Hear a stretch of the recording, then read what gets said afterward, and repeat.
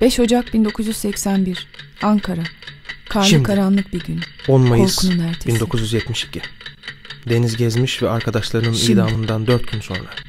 İlk aldırış Leylek ağaçları. 27 Mart 1960 30 darbesi Nisan öncesi 1943. sıcak, Sıkıntılı bir yaz Karartma günlerinde misafir kuşlar, kayıplar ve leş kavgaları.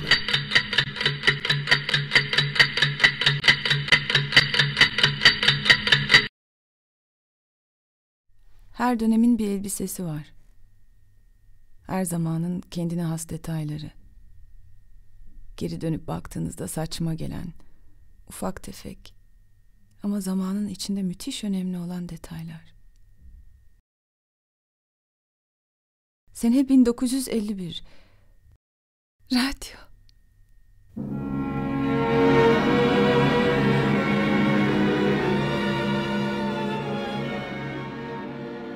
Her şey hızlı, gizli, saklı ve inceden bir olağanlıkta devam ediyor.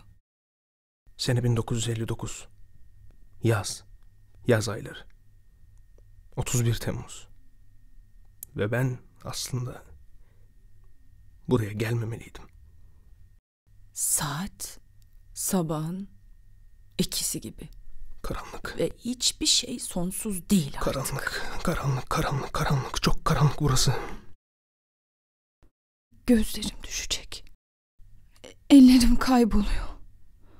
Kafam başka bir yerde. Bir deniz kıyısının ince çizgisinde. O denizin kıyısına yürüyorum. Ayaklarım suyun içinde. Kumun içinde. Yürüyorum. Kalbimin altında suyu hissediyorum. Ellerim nişan yüzü. Ve ellerim hala ıslanmamış. Havada tutuyorum onları.